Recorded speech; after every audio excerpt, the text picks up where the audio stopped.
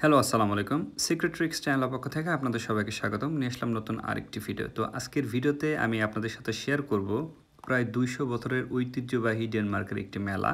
So এই মেলায় আমরা যাচ্ছি, আমি, আমার ওয়াইফ এবং আমার কলিগ অ্যালেক্সকে সাথে নিয়ে। তো এই মেলাতে মূলত কী কী পাওয়া যায় এবং মেলাটা কেমন, এগুলো আপনাদেরকে দেখাবো। তো তার আগে বলে রাখি আপনারা যদি চ্যানেলে নতুন হয়ে থাকেন, তাহলে অবশ্যই চ্যানেলটিকে সাবস্ক্রাইব করবেন এবং যদি ফেসবুক পেজ থেকে দেখে থাকেন, তাহলে ফেসবুক পেজ থেকে একটু ফলো দিয়ে পাশে থাকবেন। সো চলুন আমরা মেলায় যাই।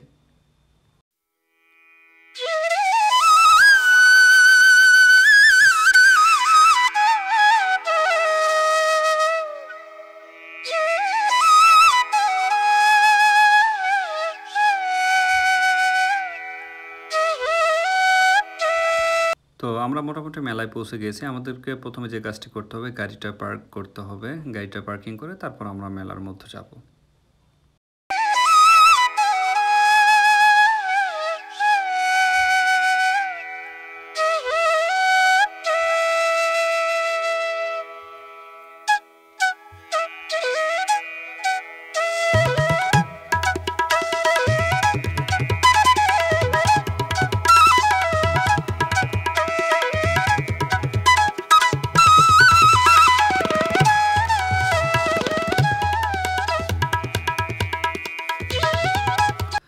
অবশেষে গাড়ির পার্ক করার আমরা জায়গা পেয়েছি, গাড়িটা পার্ক করে আমরা মেলার মধ্যে যাইতেছি। তো জাস্ট যেতে যেতে আমরা অ্যালেক্সকে জিজ্ঞেস করতেছিলাম এই মেলা সম্পর্কে। তো উনি আমাদেরকে বলে, বলতেছিল যে মেলাটা খুবই পুরাতন। তো উনি আমাদেরকে আরও কিছু ইনফরমেশন দিল, যেহেতু এটা খুবই ঐতিহ্যবাহী মেলা, প্রায় দুইশো বছরের মেলা। তো এখানে অনেক দূর দূরান্ত থেকে লোকজন আসে এই মেলাতে, এই মেলাটা দেখতে ডেনমার্কের তো ওনারা এখানে আসে ওনাদের গাড়ির পিছনে করে এই যে এখানে এই যে ট্রাভেল ভ্যানগুলো নিয়ে আসে। দেখা যায় যে যদি মেলায় দেখতে দেখতে যদি রাত লেগে যায় তাহলে এখানে তারা থাকতে পারে। তো এই ট্রাভেল ভ্যানের মধ্যে সাধারণত থাকার সকল সুযোগ সুবিধা আছে এবং এর পাশে দেখতে পাচ্ছেন ওয়াশরুমও আছে।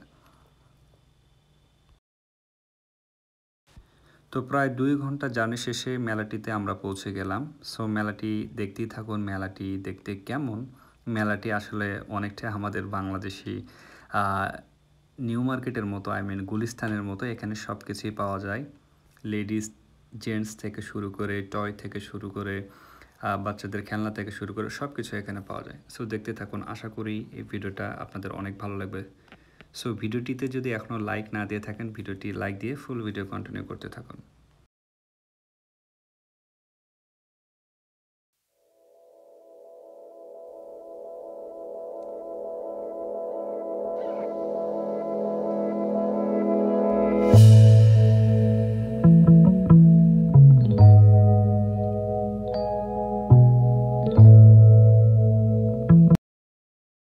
এই দেখেন ব্যাগ ট্যাগ থেকে শুরু করে সব কিছু আছে এখানে। ঢাকা নিউ মার্কেট আছে, এটা এটা ফিল হইতেছে।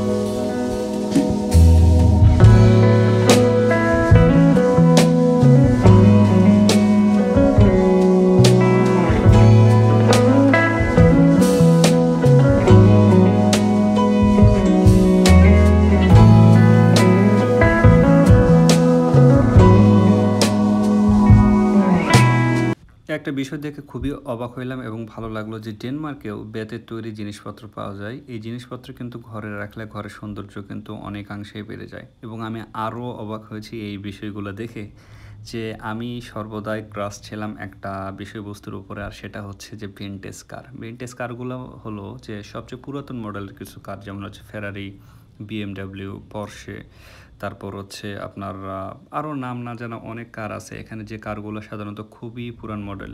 স্পেশালি এর মধ্যে রয়েছিল ভলভো এইটিন মডেলের কিছু কার, কিছু নাইনটিন নাইনটিন টেন মডেলের কিছু কার, যেগুলো আমার আসলে খুবই ভালো লেগেছিল। ওকে এবং এগুলোর সাথে সাথে কিন্তু এই গাড়িগুলোর কিন্তু প্রাইসও এখানে দেওয়া ছিল। তো আসলে আমি অ্যাফোর্ড করতে পারব না এতটা প্রাইস অনেক price so i wish one day i will buy one vintage car.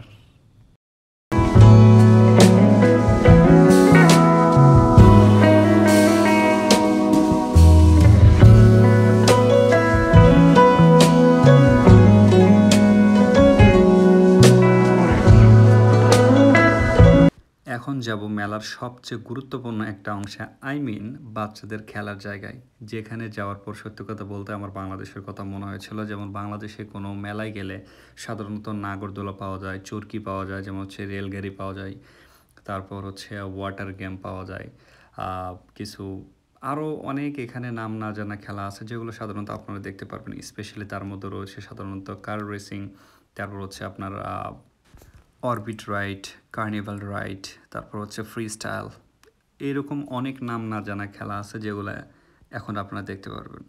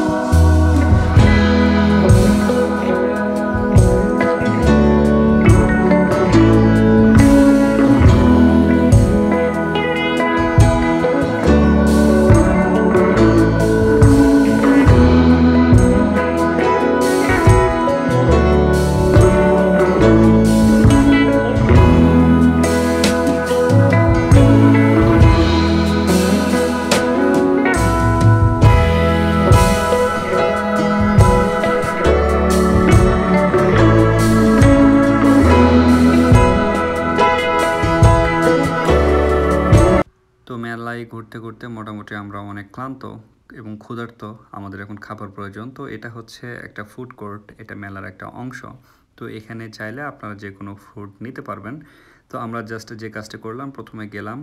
এখানে যাওয়ার পর দেখলাম যে ইন্ডিয়ান কিছু ফুড আছে বাট এই ফুডগুলো খুব একটা ভালো লাগতেছিল না। তো দেখলাম যে অন্য কিছু ট্রাই করা যায় কিনা। আর এখানে যেহেতু আমরা মুসলমান, সেহেতু হালাল ফুড খাইতে হবে। তো এখানে জাস্ট একটু দেখতেছিলাম যে কোন খাবারটা খাওয়া যায়। তো অনেক ঘোরাঘুরির পর আমরা একটা খাবার পছন্দ করি আর সেটি হচ্ছে যে ফ্রাইড চিকেন সাথে ভেজিটেবলস এবং চিজ খাবারটা অনেক ভালোই ছিল এবং সাথে কিন্তু ফ্রেঞ্চ ফ্রাইসও ছিল। তো এখানে সিস্টেমটা হচ্ছে প্রথমে আপনাকে অর্ডার দিতে হবে তারপর টোকেন নিতে হবে এবং কিছুক্ষণ বসতে হবে। তো আমরা অর্ডারটি দিয়ে দিই সো আমরা অলরেডি খাবারের অর্ডার দিলাম আমাদেরকে জাস্ট ওয়েট করতে হবে এখানে। ভালো ছিল। ওয়াইফ সে অলরেডি বসে আছে। সো আমরা একটা চিজার ফ্রাইসে অর্ডার দিলাম দুইটা অ্যাকচুয়ালি তো তার ভেতরে আছে সাধারণত chicken salad French fries etcetera so আমরা জাস্ট এখানে বসবো এখন জাস্ট এসে গেছে। সো এখন সময় নষ্ট না করে খাবারের পালা। আমি আগে কখনো কালো ঘোড়া দেখছিলাম না, এখানে আসার পর ব্ল্যাক হর্স দেখলাম। এখানে জাস্ট ব্ল্যাক হর্স নিয়ে বেশ কয়েকজন র্যালি করতেছিল আই মিন শোডাউন করতেছিল। হয়তোবা এই ঘোড়াগুলো তারা বিক্রি করবে। কারণ আমি যতটুকু জানি যে এই মেলাতে সাধারণত ঘোড়াও কেনা যায়। তো দেখেন এই ঘোড়াগুলো এত সুন্দর। এই ঘোড়াগুলো আমি আগে সাধারণত ফেসবুক এবং ইউটিউবে দেখেছিলাম যে এই যে ব্ল্যাক হর্টসগুলো অনেক সুন্দর ঘোড়া কিন্তু। দেখেন।